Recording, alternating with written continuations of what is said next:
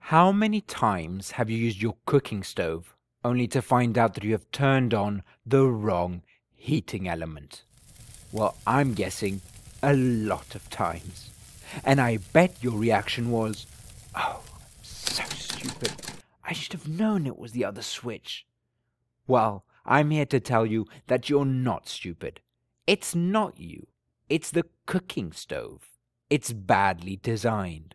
In fact, most of the things around us are badly designed, whether they be cooking stoves, doors, or even mobile applications.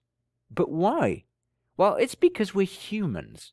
We don't think sequentially. We don't follow instructions closely. We are not precise. But machines do.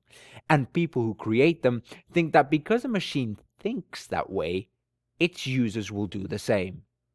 Well, they couldn't be more wrong. So, how do we act and think? Well, according to Don Norman, we tend to act on three distinct levels the reflective, the behavioral, and the visceral. The visceral is the lowest of the three. It's what we call the lizard brain. Suppose you're sunbathing on a beautiful beach. You're immediately calm, happy, but you don't know why.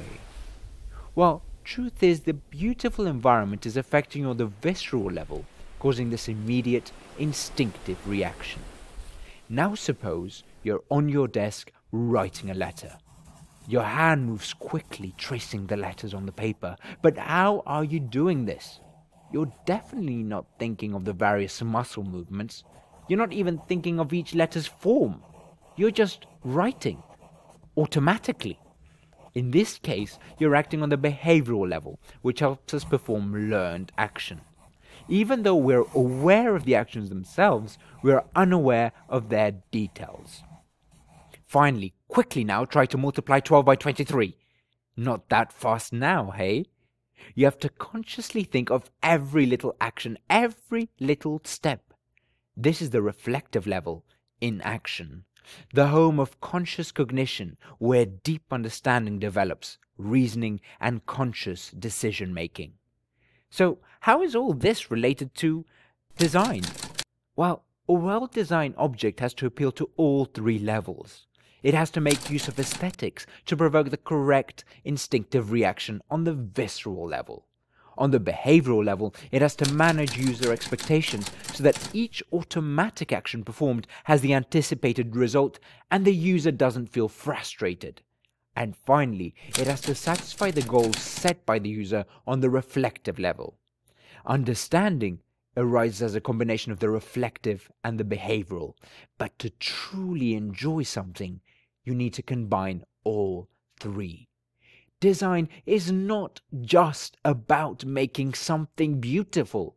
It's about managing a user's interactions from the lowest to the highest cognitive levels. There are multiple ways to do this. I don't want to go into the details as this is not the purpose of this video. But if you're really interested, I suggest two excellent books by Don Norman The Design of Everyday Things and Emotional Design. This has been this week's individual project for my univership.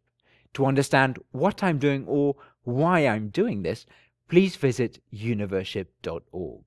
Thank you very much for listening.